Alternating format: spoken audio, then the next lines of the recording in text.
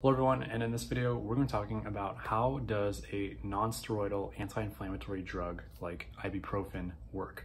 And so if you've ever gotten like a bug bite, you'll note that it usually gets pretty swollen afterwards. It'll feel red, it'll be a little bit hotter than the other surrounding tissue. Uh, it might have some pain or some itchiness. And so this is because of your inflammatory response.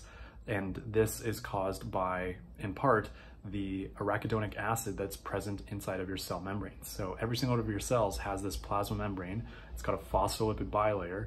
It's a pretty fatty layer on the inside. And so inside of this, you've got arachidonic acid. And so when that bug bit you and it punctured through all those cell membranes, uh, what happens is that that arachidonic acid that's inside is going to get secreted and released into the environment. And as it does, it's going to be metabolized into these things called cyclooxygenases. And so these things, they're abbreviated COX-1 and COX-2. And so these molecules are basically going to go around and they're going to tell a bunch of immune cells, your innate immune cells, that we got to scale up an immune response here because we've got a problem. Like we just got bit by a bug.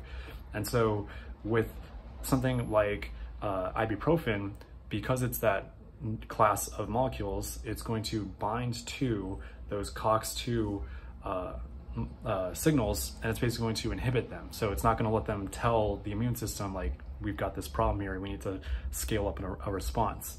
And so that's how it's reducing the inflammation. And so another thing I will note is like, how does this reduce pain? It doesn't directly reduce pain because what really is going on here with uh, the inflammation response is that you have these things called bradykinins. And so bradykinins are these things that as this inflammatory response is happening, they're going to be telling the nearby sensory neurons to become a lot more active and sensitive to pain signals. And so with these bradykinins, the thing to note is that um, if you don't have as much swelling, you're not going to get as many bradykinins in that area. Consequently, you're not going to feel as much pain.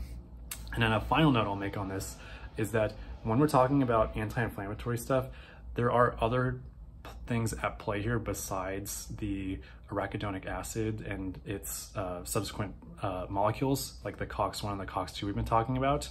And so one thing to note are these things called leukotrienes. And so leukotrienes come from a, a completely different area. And so something like ibuprofen will have no effect on reducing or inhibiting the effect of these leukotrienes.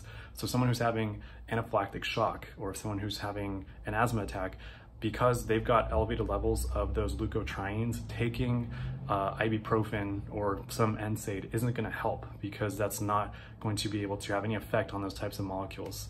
And a thing, final, final thing to note here with NSAIDs is that they do have side effects. Um, they are getting better at reducing the side effects, but the reason that they have side effects is because that COX-2 target molecule that they have, that was from arachidonic acid, with those specific um, inhibitors, they're basically trying to grab onto those COX-2 molecules or those COX-2 receptors in your body. And so the issue is that um, those things are not perfect and they're not just gonna latch onto their targets, they're gonna latch onto other things. And so this is the reason why things like ibuprofen will have side effects besides just the anti-inflammatory uh, desired effect. And so I'm gonna wrap things up with that. Thank you all for watching. Hope everyone out there is doing well and I'll talk to you guys next time.